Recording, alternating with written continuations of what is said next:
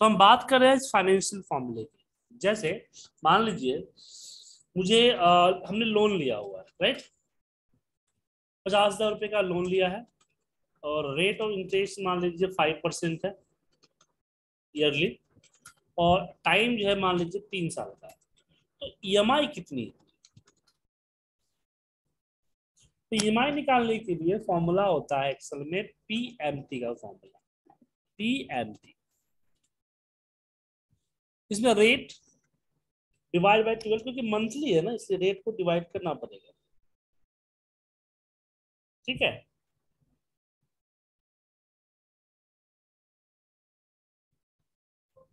उसके बाद यहाँ पे टाइम तो टाइम हमारा ईयरली है तो उसको मंथ में कन्वर्ट करना होगा। और पीवी मतलब प्रेजेंट वैल्यू क्या है? पीवी मतलब प्रेजेंट वैल्यू क्या है? तो प्रेजेंट वैल्यू हमारा फिफ्टी थाउज़ेंड है। ये देखिए आ गया चौदह सौ अंठानवे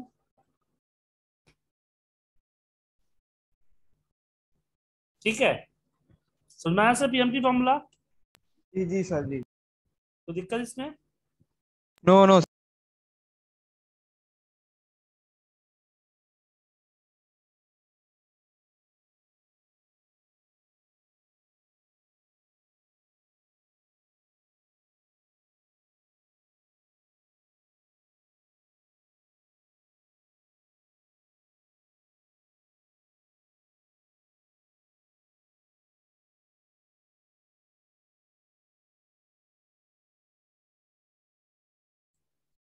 अब इसमें एक चीज़ आती है कि कि कैलकुलेशन कर कैसे रहा है? इसको कैसे प्रूफ करेंगे? तो मैंने यहाँ पे फिफ्टी थाउज़ेंड लिखा। और ज़ाहिर सी बात है तो आपको फाइव परसेंट ईयरली है तो उसको डिवाइड बाई ट्वेल्व कर देंगे मंथली आ जाएगा। अब फिफ्टी थाउज़ेंड का मल्टीप्लाई किया तो रिज़ल्ट क्या आया? दो सौ आठ। मतलब पहले महीने के अंत में प्रिंसिपल होगा five zero two zero eight और ईएमआई कितना है? ई है चौदह सौ अंठानवे। तो यहाँ पे वन फोर नाइन एट हमने दे दिया। तो अगले महीने तो ये आपका घट जाएगा इसमें से। आगे अड़तालीस, सात सौ दस।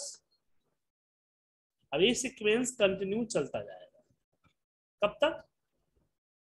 तीन महीना है भारतीय छत्तीस महीने तक।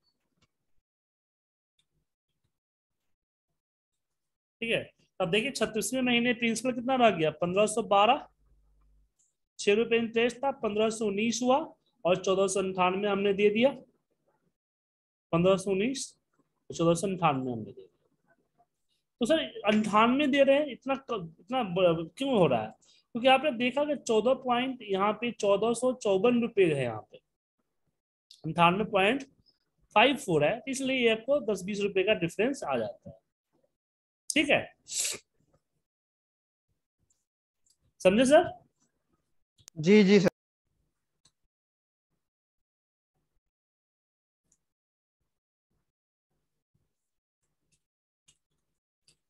अब बात आती है कि हमने लोन लिया था तो हमने ईएमआई कैलकुलेट कर लिया। लेकिन अब मैं लोन की बात नहीं कर रहा हूँ बात कर रहा हूँ डिपॉजिट्स की। कि मुझे फ्यूचर में चाहिए पचास हज़ार रुपये। मान लीजिए। और रेट मेरा सेम पाँच परसेंट है और टाइम भी मेरा तीन साल है। तो मैं कितनी ईएमआई जमा करूँ? तो उसके लिए भी पीएमटी का फॉर्मूला वर्क करेगा। पीएमटी हम रेट लेंगे। रेट को डिवाइड करते हैं ट्वेल्व से। टाइम लेंगे टाइम को मल्टीप्लाई करते हैं ट्वेल्व से और पीवी प्रजेंट वैल्यू पीवी मतलब प्रजेंट वैल्यू जो कि नहीं है क्योंकि पचास हज़ार जो है वो तो फ्यूचर वैल्यू है ना। क्या? जी जी हज़ार फ्यूचर वैल्यू है ना? तो इसको हम पीवी को ब्लैंक छोड़ दे रहे हैं और फ्यूचर वैल्यू को सिलेक्ट करके एंटर प्रेस करते हैं। तो बारह सौ नब्बे रुपया मंथली हम जमा करेंगे तो पचास हज़ार रुपया आ जाएगा। ठीक है?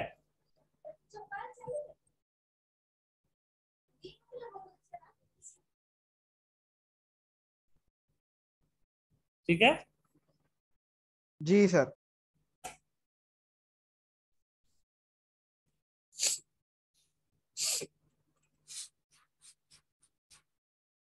तो पीएमटी फॉर्मूला समझ में आ गया? अब मेरे पास ऑलरेडी ईएमआई ही है। कि मैं मान लीजिए recurring account five thousand rupees का हम मंथली जमा करना चाह रहे हैं। ठीक है?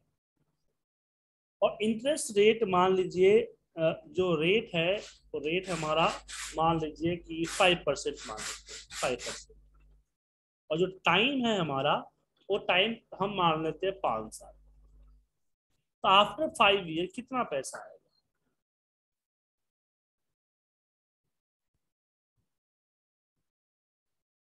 तो इसके लिए भी हम लगाएँगे formula F V future value F V मतलब फ्यूचर वैल्यू रेट को हम डिवाइड करते हैं ट्वेल्व से टाइम को मल्टीप्लाई करते हैं ट्वेल्व से पी एम टी हमारा फाइव थाउज़ेंड है एंटर प्रेस किए रिज़ल्ट आ गया तीन लाख चालीस हज़ार।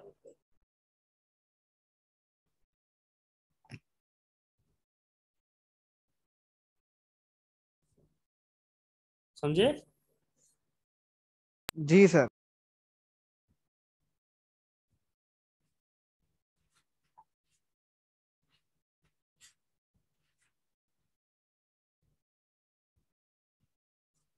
मतलब कि हमने जमा कितना किया पाँच सालों में?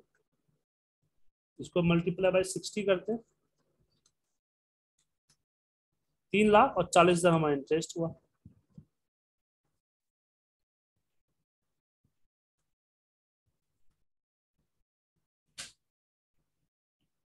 समझे? अब बात आती है कि मेरे पास ऑलरेडी हम ई e में नहीं, हम एक बार में फिक्स करना चाहते हैं। पीवी हमारा मतलब प्रोजेक्ट में हमारा मान लीजिए, पचास रुपए की, पचास हज़ार रुपए की हम एफडी करना चाहते हैं।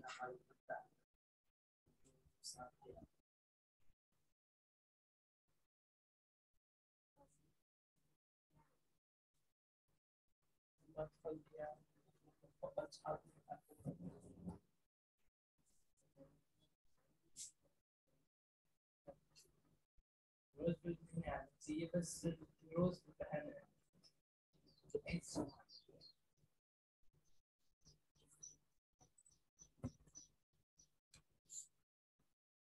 और रेट सेम पाँच परसेंट है। और मैं तीन साल बाद चाहता हूँ। इसके लिए फॉर्मूला लगाएँगे हम, इसका एफ़ बी का future value rate multiply by twelve time multiply by again twelve PMT नहीं है पीवी है present value fifty thousand sorry ये मल्टीप्लाई हो गया डिवाइड करना चाहिए था ना, इसलिए इतना ज़्यादा अमाउंट आ गया। समझ गए?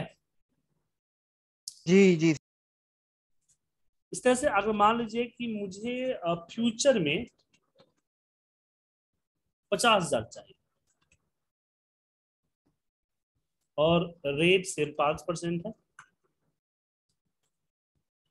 टाइम जो है, पाँच साल है।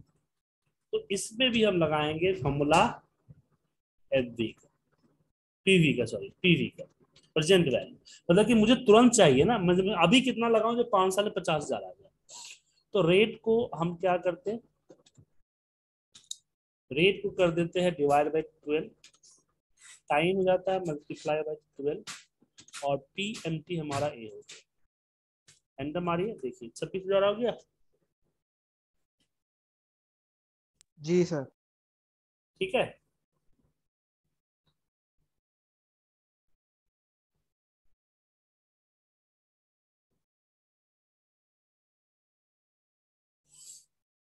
ये हमारा पीवी पीएमटी एफडी का फॉर्म बता है आया समझ सर आपको? जी जी सर। और भी बहुत सारे फॉर्मूले हैं। लेकिन क्या है ना सर